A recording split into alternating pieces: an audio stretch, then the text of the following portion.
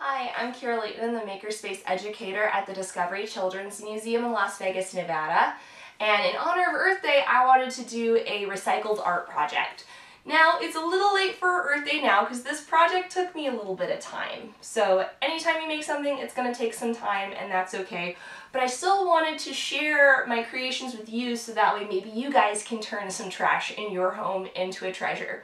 So, uh, I don't know about you guys, but my family drinks a lot of milk, and I've ended up with loads of these little cartons all over the place. Um, so instead of throwing them away, I wanted to try and turn them into something. Uh, can you guess what I thought I'd make these into? I've always thought they're shaped a little bit like houses, so I thought it'd be really fun to make a bunch of milk carton houses.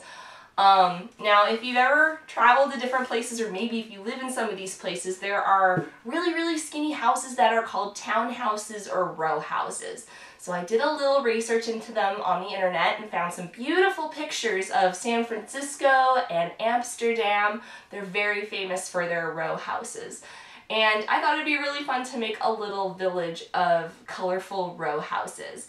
And I'm including a couple different ways that you can do this because I know not everybody has all these art materials in their home, so I was trying to come up with some ways that everybody can at least try one style of house. So, because I'm pretty I'm pretty crafty and I like to keep some paints around in my house and paint once in a while. Um, the first houses I tried making were acrylic paint houses. Now, uh, acrylic paints stain really badly. Uh, they don't come out of clothes and they don't come off of surfaces very easily. So if you're working with acrylic paints, make sure you have a place that is okay with your family to use and then make sure you cover it and protect it and protect your clothes from getting stained. If you see here on the floor, I've got a spotted and dirty old sheet that we don't use on the beds anymore. It's just my painting uh, sheet. So anytime I'm starting to paint, I lay it out to cover the ground so I don't get paint anywhere and it protects it from getting stained. And then as far as my clothes go, I can either put on something that I don't really care about that I call them my strike clothes. I can put them on, get them messy, and it's okay if they get ruined. It's usually something old that I don't wear out to nice places a whole lot. Um, you can ask your parents if they have an old oversized shirt you can use as a painting smock, or if you're like me, you find an apron that you were not using in your kitchen anymore and you can turn it into your painting apron protect your clothes, protect your surfaces because acrylic paint is horrible to try and get out of stuff. But it's pretty effective to work with. So first of all, before you start painting with acrylic paint, you always want to put on a uh, what we call a primer layer. Um, so if you see this milk carton right here, I've painted it just a little bit with white, so that way it kind of starts to block out some of the writing on my carton here. It doesn't need to be a perfect layer because uh, this isn't going to be my final layer, but I just wanted to block it out so it was easier to paint over. So after I finished priming my milk carton with the white paint, I was able to paint over the top with these other colors. Um, I usually recommend starting with the light colors first and then layering the darker colors over the top of them. Um, now acrylic paint dries pretty quickly for a paint. So if you make any mistakes, just let that layer dry and then you can paint over it pretty easily. Um, and then what I did for my last detail is I used a really, really thin black brush to do all these small details once the rest of the carton had dried. Um, so that was a pretty fun house. I think this guy turned out pretty well. Now I decided to try something a little different with the acrylic paint. I also happen to have a hot glue gun. So I thought I'd try using my hot glue gun as a brick stencil, and this is what I turned out with. Now I didn't prime this milk carton, I just wanted to see what would happen if I chose not to prime it. And I think it still turned out pretty well. You can see the writing through it and everything. But I hot glued my brick pattern onto this whole carton. I painted over the top, and once the paint had dried, I peeled off all the hot glue to give me this brick and mortar look to it. Uh, and then I painted the windows and the door over the top at the end. I was also thinking of ripping off the roof tiles that I had done with hot glue as well, but I kind of liked how those looked with the hot glue still there, so I left the hot glue with the roof tiles intact. So those are my acrylic painting ones. Um, oh, I also forgot.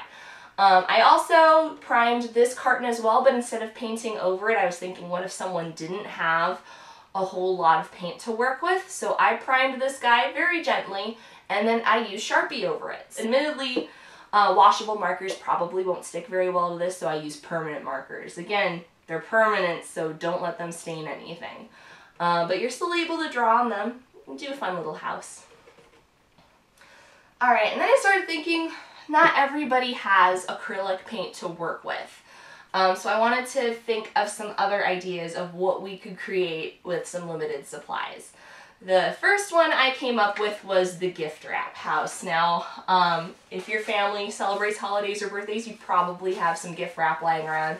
And I realized no one had used this kind of ugly gift wrap in a long time.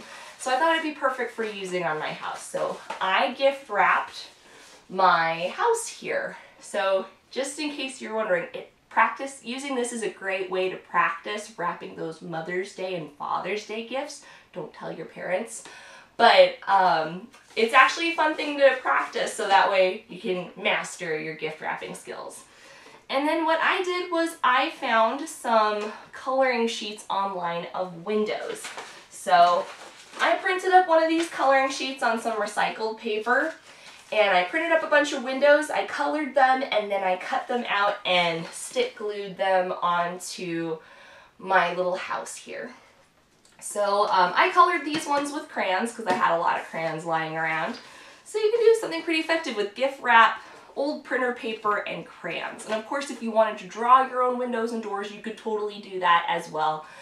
And depending on the type of gift wrap, you could possibly even draw on the gift wrap itself. Um, one option you could do is wrap your gift wrap inside out where the plain side is out.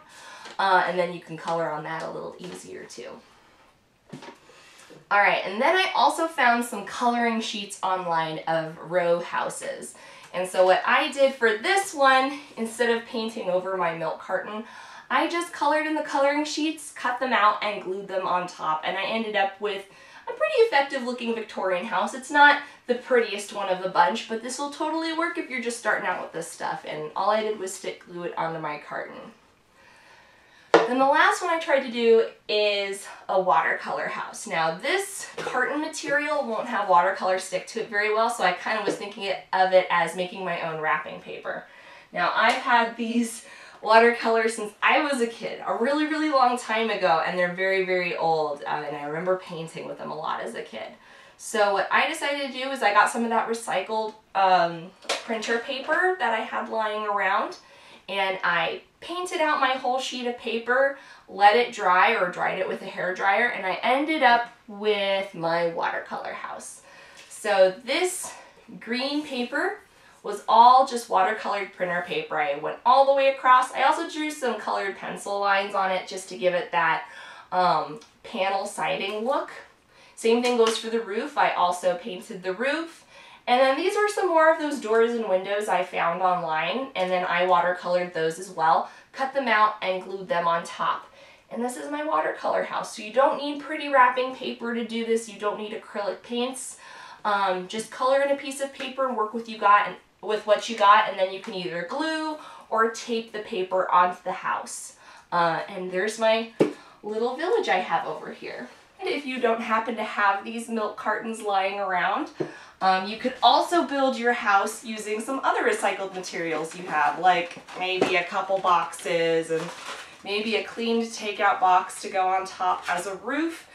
Really, it's up to you to decide how you want to build your house and make it as creative as you can with the materials you have. And then, of course, if you're in for something really big, you can always try something like this. Now, this is my cereal box and milk carton castle. Um, yes, I did paint the whole thing gray with acrylic paints, and I realize not everybody can do this, but I would just show you that you're only limited by your imagination. I've got my little row houses over here, but if you've got all the cereal boxes and milk cartons you want to make a huge mansion or even a castle, you totally can. I don't know about you guys, but I think this castle's missing.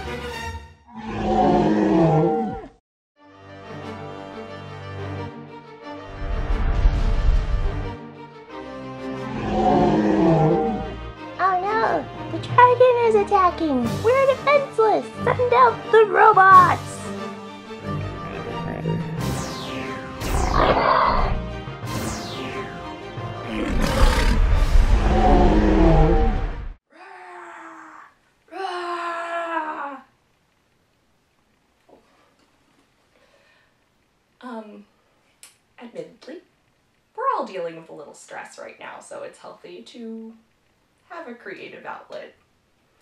Signing off for my at-home makerspace, this is Kyra Lehtinen with the Discovery Children's Museum.